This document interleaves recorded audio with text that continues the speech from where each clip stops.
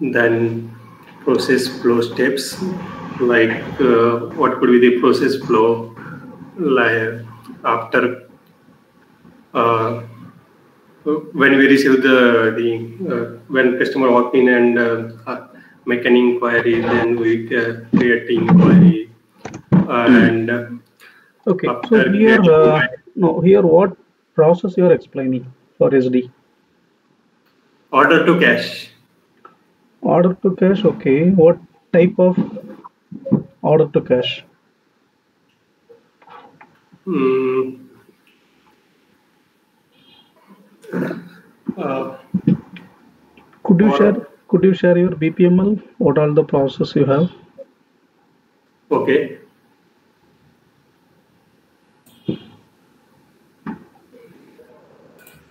Assignment process, then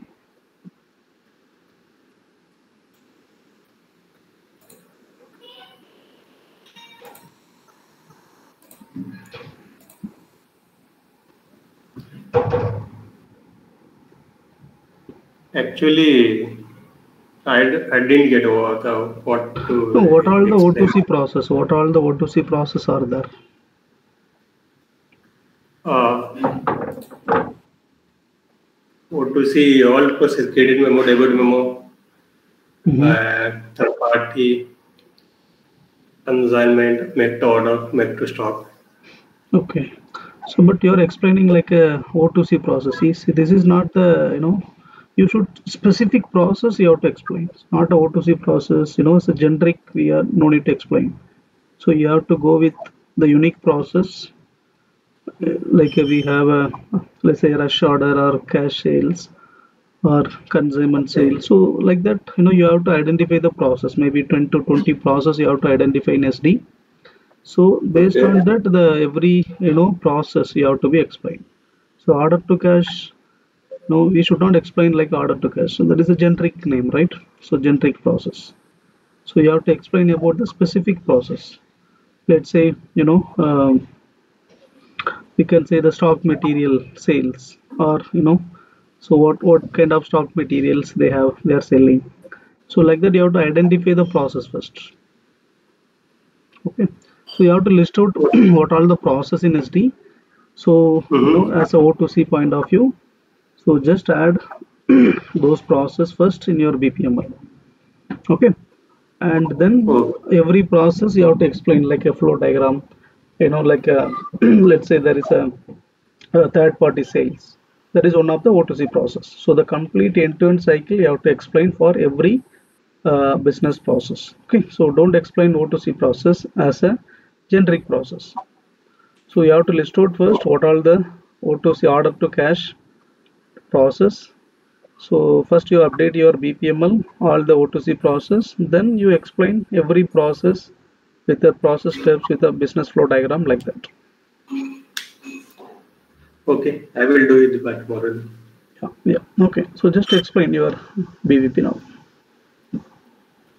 Just created O2C, not created any process. Okay, so but make it so just to make it specific process. Huh? Don't put it the heading like a O2C.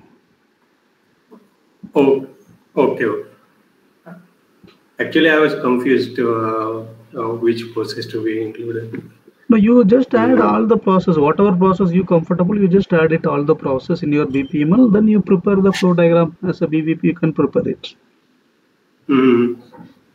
Mm, I think uh, just uh, we have to mention the what are the processes uh, in order to cash. Uh, Yes, yes. like So you add it. Yeah, you add in your BPML. So whatever already you have, you add any other additional process you include in your BPML first. So then you Mhm. can able to explain. Okay, now you proceed now. Mm, okay, during the this is the process for order to cash, and for, and first uh, is creating the customer's inquiry. Uh, and in this, when uh, customer sends inquiry with with material specifications, uh, the inquiry is entering the system, and customer then we create inquiry with material number and for uh, or related information. Uh, in that we add a quantity for each item and expected date of response depending on the then material setup and costing the and in this process we, we carried out a material creation that, that is we are in SD we have the finished good and trading goods. Uh, then bill uh, for material creation we can uh, run bill of material and routing. Mm. in quotation once the final quotation is available a quotation will be created in the system and the quotation will be present to the customer with a legal binding. Uh, if it's satisfactory with its uh, customers. So what are the prices of uh, product on quantity? Uh,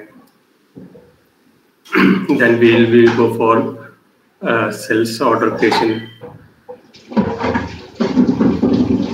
For sales order creation we have uh, to maintain we have to enter the, um, the the sales area data is mandatory, like sales organization, distribution channel, and division. Customer mm, customer number, validity, customer validity dates, material number, quantity.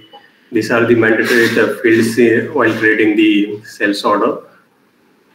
Mm, price for each and pricing price, pricing procedure.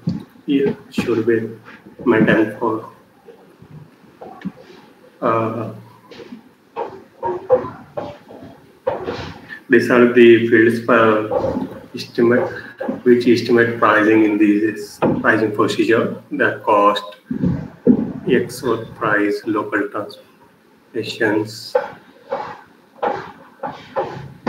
mm, then delivery creation. The delivery of the product will be through the project system and delivery document can be print, printed in the delivery notes. And after creation of delivery, uh, we with reference to delivery number will process for billing.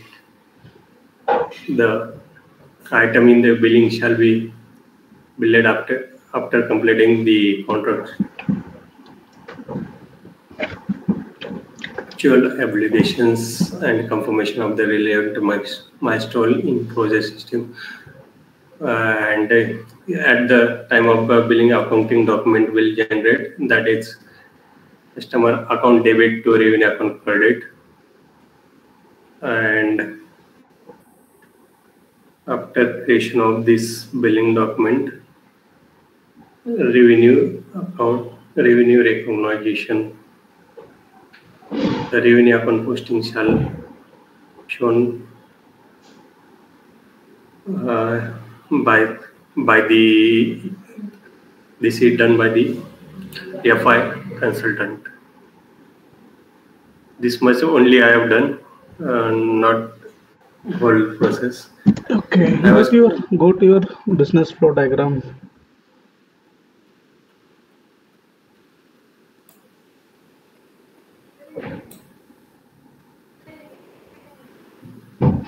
Okay, so could you explain uh, the process steps here? Okay. Mm, when uh, uh, we create a sales order uh, with the uh, reference to inquiry, that is, these are the pre-sales activities like inquiry and quotations. when a customer make an inquiry with with reference to that inquiry, we create quotation here it is a pre-sale and uh, with reference to this quotation document sales administration will create a sales order in the system. And uh, if, if customer is uh, uh, uh, we here here we check that uh, the customer is liable for credit and if he, he is liable for credit, customer uh, customer order will be confirmed and uh, uh, where, here warehouse clerk uh, will uh, responsible for picking, packing and post good of the material and do the delivery. After the delivery, it will be sent for uh, uh, sales billing. And uh, this billing document is, will be sent for end customer. Okay, what will happen while do the post post goods issue? Uh, here, uh, account, uh, doc, accounting the, the uh, uh, at the time of post good issue, uh, the document will generate uh, uh, cost of goods sold account uh, debit to inventory account credit. Okay.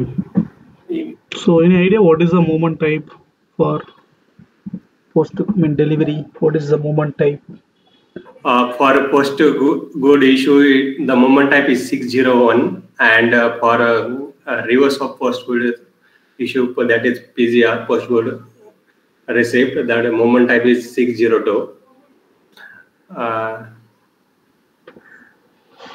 Uh, Okay, who will raise the invoice? Uh, who will raise the invoice?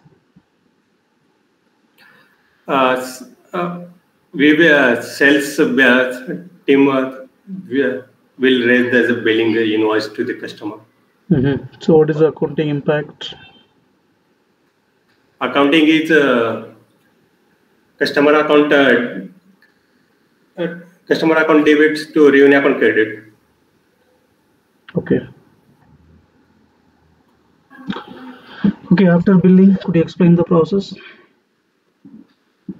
after billing uh, that uh, document will be uh, uh, sent to accounting here account receivables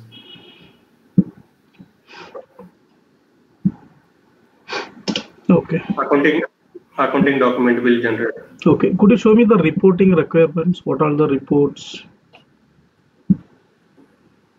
mm, that i have not